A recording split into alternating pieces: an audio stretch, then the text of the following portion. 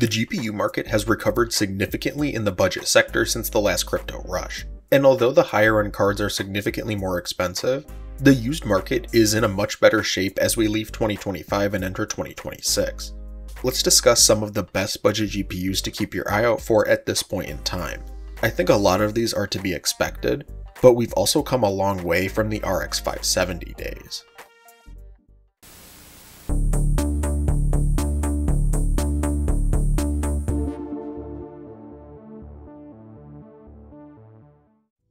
Before we dig into this video, I'd like to say not to forget to leave a like and subscribe, and click the bell icon so you'll be notified about all our future uploads. This video is more meant to give a rough list and a current average USD price on used sites such as eBay or Jawa.gg. And while prices fluctuate, I think these are fair asking prices for the cards we'll be discussing. With that out of the way, let's dig into some of the better budget graphics cards and how much you can expect to pay. Starting off with a card I never thought I'd be talking about in this fashion, considering I still think it's a rather high-end offering. The RTX 3070, even though it features only 8GB of memory, has an incredibly powerful GA104 based GPU that can power through almost any modern game at 1440p at beyond comfortable frame rates. Coming in at between 230 and $280 used, this card might require some sacrifices on the texture quality, but it's still incredibly powerful, my most recent review of the card put it as a solid 1080 and 1440p option, with 4K being possible at or around 60Hz if you're comfortable using DLSS. I would love to use a 3070 as either an esports or AAA card, and although this is kind of pricey, it sits so close to a 3060 Ti only being about $20 more in my region, that I'd rather get one of the 70 tier cards. It really does offer so much more performance even if it does have the same memory interface as the 3060 Ti.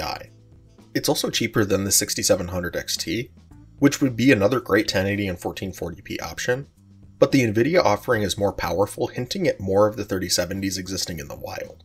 Pick one of these cards up if you're wanting a performance update over something like a 1070 or a Vega 56, and although it draws a decent amount of additional power, your frame rates will improve significantly, as long as your CPU can keep up. Another great option that's slower than a 3070 but is much cheaper is the RX 5700 XT. Coming in at between 130 to $150 on the used market, this fully unlocked Navi 10 XT based card sports a similar memory interface to the 3070 and sits a little below a 3060 in terms of raw FPS. I also reviewed this card a year or two ago, and at the time it was a little more expensive, but it still offered an excellent value on the used market. The downside to this card is it also features 8GB of memory, which can be fine if you're willing to make some sacrifices, but by and large this is a very powerful GPU with a very strong memory interface. I would recommend picking up at least a 2-fan cooler considering the card can draw a decent amount of power, but its ultimate lack of additional ray tracing and AI features gives it a rather efficient power footprint. This is a classic GPU, in the sense that it doesn't feature any of the modern RT and Tensor units, but it still supports DirectX 12 Ultimate, giving you the ability to run modern mesh shaders or other modern graphics technologies besides ray tracing. It remains an awesome card for the price, and although it's starting to get older, it's incredible if you're comfortable making some trade-offs. The next cards I'm going to mention in quick succession because they provide a decent value but ultimately don't have anything worth writing home about. The RTX 2070 coming in at between $150 and $170 used is another 8GB card that performs similarly to the 5700 XT for a little more money. The ARC B580 comes in at consistently around $250 for either a brand new or factory add-in model, and performs similarly to the RTX 3060 Ti in new games, has 12GB of GDDR6, and all the new ray tracing and tensor processing features found in modern graphics cards. Ultimately, the 3070 can be found for a similar price and outperforms it though. The RTX 2080 can be had for around $200 on the used market, and is another 8GB card with a very powerful graphics processing unit. This card performs better than the 5700 XT, but worse than a 3060 Ti, making it a good alternative to a base 3060 but with less memory. The RTX 3060 12GB can be had for between 220 and $250 on the used market, making it probably one of the better budget focused production cards. However, considering the B580 can be found for a similar price, and that card has faster memory and a faster core, I'm more inclined to recommend the Intel option at that price point. The ARC A750, another 8GB graphics card, has a similar raw width to a 3060 12GB, but performs more similarly to a 3050 in gaming.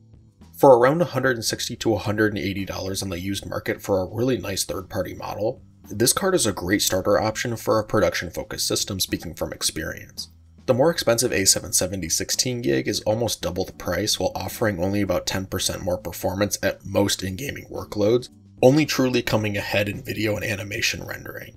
The RX 6800 can be purchased for between 280 and 320 of your American shekels on the used market, and while the 16GB graphics card seems to have been forgotten, the 3070 Ti level of performance is nothing to sneeze at, and I'm surprised this card isn't more expensive considering what it has on board. This is another rather expensive card, but considering it slots in solidly above the 3070 in terms of current price, I think it's worth mentioning because the card will perform excellently in 1080 1440p and 4K.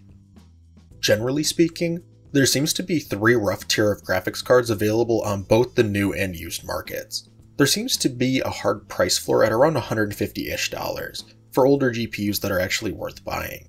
That floor increases to around $250 if you're buying new for a modern GPU, unfortunately. Around this starting price, up to around $350, is what I would consider to be a budget graphics card.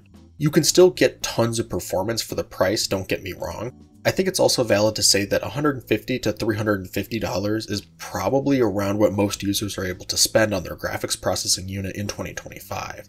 Above this, starting at around $420 with the 16GB 4060 Ti, which I don't think is all that great of a deal, and you start to enter 4070, 7800 XT, and maybe 6900 XT levels of performance.